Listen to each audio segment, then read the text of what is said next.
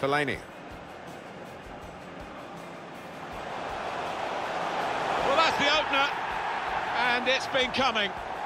The better side, but you have to score when you're on top. We wondered whether they would do that, but they have done, and they've done it in fine style.